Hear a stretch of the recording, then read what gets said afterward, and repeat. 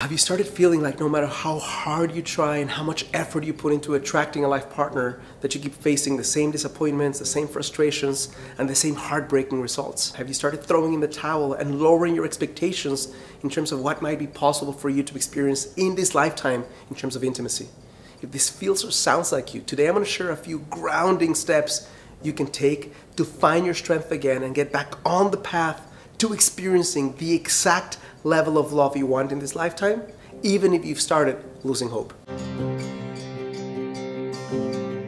A heavy feeling of Groundhog Day that happens when you want something deeply, like a super strong connection with someone, and you keep putting yourself out there, and no matter how you end up doing things, you still face some level of pain.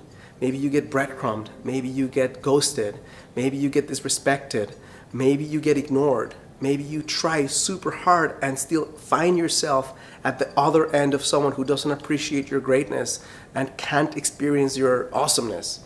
So if you're going through some experience like this right now, the first step to changing this is to reconnect with that light inside of you that so far has refused to give up.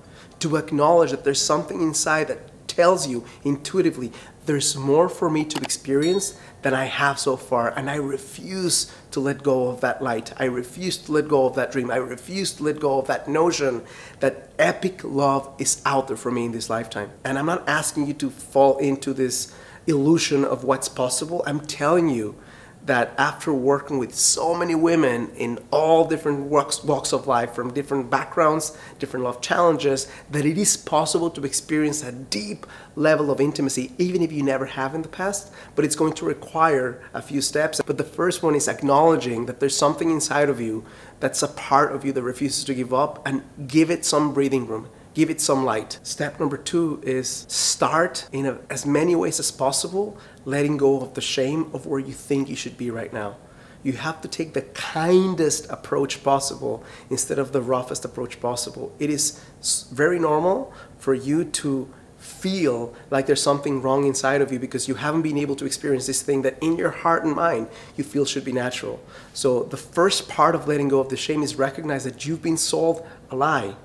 From the moment you were born till now, you've been shown ideas and pictures and movies and books around love that is of the epic kind that comes naturally without any skill or real effort from the part of the people who are experiencing it. So if you go back and recognize that you are seeking right now a type of love that has never fully been experienced up until now in history, and you understand that what you want is possible, but it's going to require more skill, more know how than perhaps the one that you've been given, then you go from a place that says there's something flawed in me because I haven't naturally experienced this level of love into I haven't yet developed the skills that I need to be able to attract the right partner, to vet the right partner, to enter the right relationship, and to sustain that relationship. Because when you take this from a flaw inside of you, to perhaps a flaw in strategy, then you can look at yourself with more grace. You can recognize that what people have sold you as what's normal and natural to experience may not be accurate,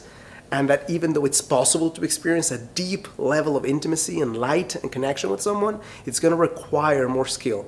And when you can focus on the skill instead of the flawedness of your being, then you can change this in a much faster way. Third step, you need to take a break to figure out what's really causing you to not move forward. And it may be something that you have not considered before. Let me give you an analogy. Imagine that you're driving in a car and you get this light that turns on that says check engine. There's two ways to fix that problem. One is the superficial way, which means take that little light bulb out and no longer does it show that there's a problem with the engine.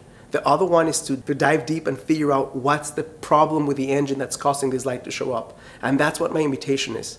My invitation is for you to recognize that of all the things you're doing, there might be one or two that are the biggest bulk of the pain that you're experiencing and without recognizing what they are you're bound to repeat them again and again so something i've done to make it easier for you to recognize the true root cause that's keeping you single instead of the symptom is created a quiz that you can take in about 60 seconds that will show you in very simple terms the number one reason you're still single. All you have to do if you want to understand what's really showing up for you is go to the first link in the description of this video. You'll find a page that looks like this, answer a few simple questions, And in the next 60 seconds or so, you'll be shown uh, two things. The answer to the question why you're still single, that's the root cause versus a symptom, and then a report that's going to show you what's the next specific step based on your unique challenge, your blind spot that you can start working on today to attract the type of relationship you want in a fraction of the time. Step number four, once you understand the true root cause that's keeping you single, is commit to dating as a spiritual journey. You're not doing this for the guy, you're not even doing this for the relationship, you're doing this for something bigger. So when you understand that dating can be a journey for evolution, for healing, for growing, for becoming a more gifted human being, then you commit to the process of dating as a spiritual journey to evolve.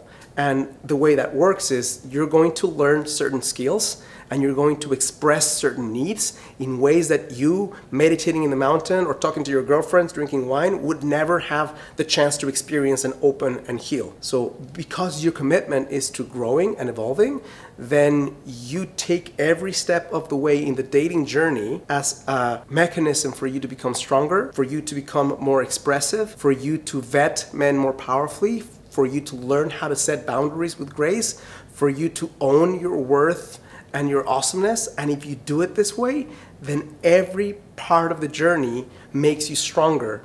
And when things don't work out in a given context, you are still committed to the process that's going to, at the end of the day, turn you into a human being that will be more gifted and that will have more skills than the one who would have maybe kept herself uh, to herself. Step number five is you commit to working on the 5% solution. Every person who wants to accomplish something they haven't experienced before has multiple different steps along the way.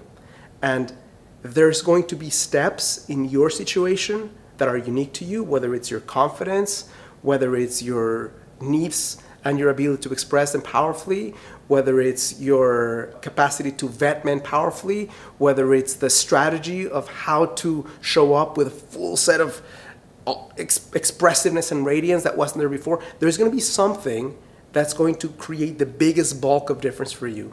And part of what makes this process a fulfilling one is to discover what is that 5% for you. That's why working with someone sometimes is so helpful because you can work on those things that create the biggest bulk of change for you instead of a bunch of things that may not move the needle forward. Step number six is if you want to really get there, if you want to not give up hope, if you want to go the distance, is you start celebrating the smallest wins. You stop treating the experience of finding a life partner as a binary experience where zero is I haven't experienced it and one is I found my guy. There's going to be so many different shades of gray in that black and white scenario that can give you a feeling of growth that can honor the path that you're going into. So you celebrate every time you show up for yourself, even though you, you, you wanted to really to stay inside your house, you celebrate that. If you smile more powerfully than before, you celebrate that. If you ask better questions before you connect with someone, you celebrate that. If you go on a date where you're able to express your needs in a different way than you have in the past, you celebrate that every sing, single step you take along the journey of getting better and stronger and more gifted in the process of dating, you celebrate and you acknowledge your progress that way. If you only acknowledge the binary, I found my guy versus I didn't find my guy, this is going to be a very painful experience. So you get your strength together and you take steps every single day to get close to what you want and you notice the smallest things are making a difference and you commit to celebrating them. Hope this is helpful and useful. If you found value in this, it would mean a lot to me and to my channel if you click like and subscribe. And if you want to continue learning how you can attract the guy you want without the need for GameX manipulation, games, or stupid techniques, then make sure to watch the next video right here.